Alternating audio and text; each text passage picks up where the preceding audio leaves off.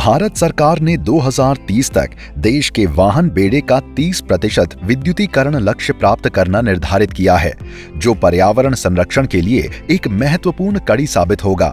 N T H EV battery एवं charging station उपकरणों के परीक्षण हेतु देश के प्रमुख तीन शहरों, मुंबई, कोलकाता और बेंगलुरु में अत्याधुनिक परीक्षण लेबोरेटरीज का निर्माण करने जा रहा है। इस कार्य हेतु बेंगलुरु में प्रस्तावित अत्याधुनिक ईवी बैटरी परीक्षण प्रयोगशाला स्थापित करने के लिए एनटीएच और आरआरएसएल बेंगलुरु के बीच एमओयू का आदान प्रदान होगा। इसके अलावा आज एनटीएच पश्चिमी क्षेत्र मुंबई में इलेक्ट्रिकल डोमेस्टिक अप्लायंस लेबोरेटरी और एनटीएच पूर्वोत्तर क्षेत्र गुवाहाटी में इलेक्ट्रिकल लेबोरेटरी का भी शुभारंभ हो रहा है।